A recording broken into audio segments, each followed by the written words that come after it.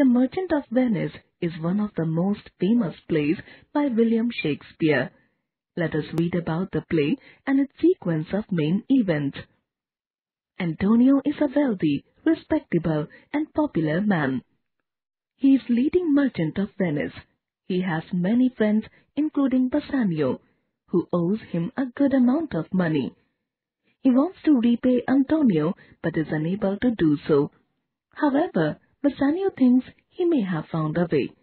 He will need to borrow more money from Antonio.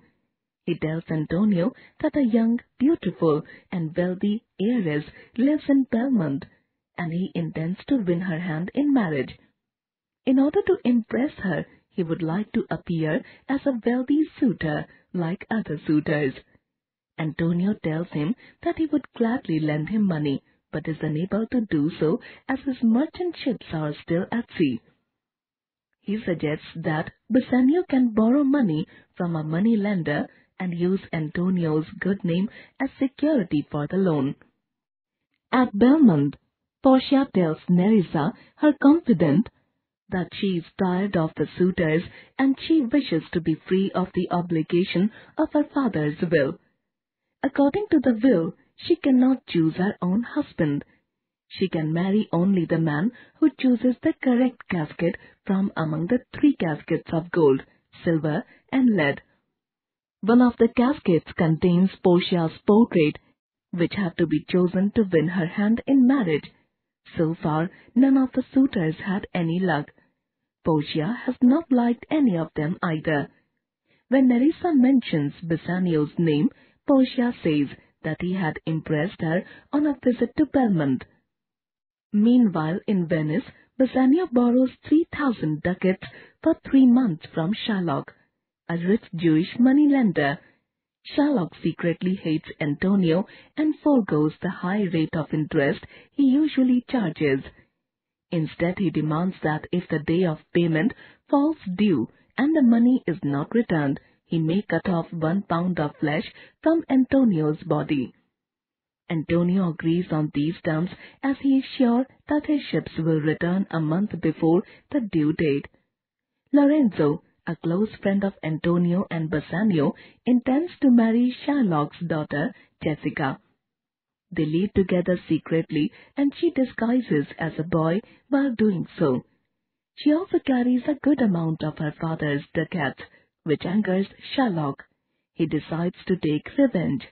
Then Bassanio and Gratiano leave for Belmont. Portia sends away two suitors, the Prince of Morocco and the Prince of Aragon, who choose the wrong casket. Bassanio chooses the lead casket, and it has Portia's portrait. They are overjoyed and decide to marry along with Nerissa and Gratiano, who also want to marry one another. Soon Bassanio receives a letter from Antonio, bidding him farewell as his ships have not returned and Shylock will take a pound of his flesh. Bassanio rushes to Venice with the money that Portia gives him to repay Shylock.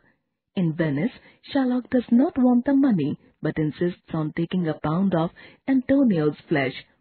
The Duke of Venice presides over the court of justice. Bassanio requests Shylock to take double the amount, but he refuses.